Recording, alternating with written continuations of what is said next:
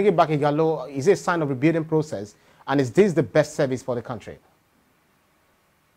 I know I, I am not totally against it. There are times when you bring in these um, experienced Super Eagles players as a way of um, motivating others because their presence in the newsroom will ginger other players and they can they can help the coach to even train some of the players to offer advice to players. You can imagine what a 36 year old, the role that a 36 year old Cristiano Ronaldo can play in the newsroom, I mean, in the in the dressing room of Manchester United. When things appear difficult, you can look up to them to provide guidance for the younger ones, to provide direction for the younger ones, to stabilize the dressing room. Um, we saw Coach Onigbinde do that during the 2002 World Cup. And he, he brought in an old player.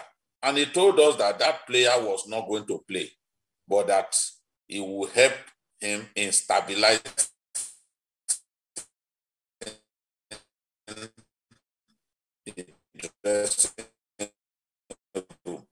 he's very much an active player, still lot to offer his country. He's not, he's not as old as um, Cristiano Ronaldo, and he's still playing you know, and he's still, if Cristiano Ronaldo is still the captain of the Portuguese national team and he's still scoring, he's still setting records, then Anodion Ighalo is younger than him, still has um, some more to offer his country.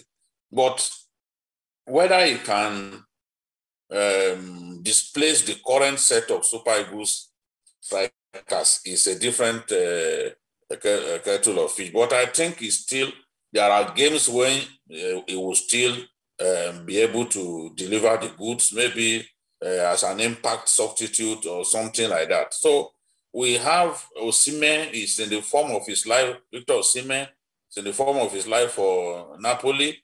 You know, we have Onuachu.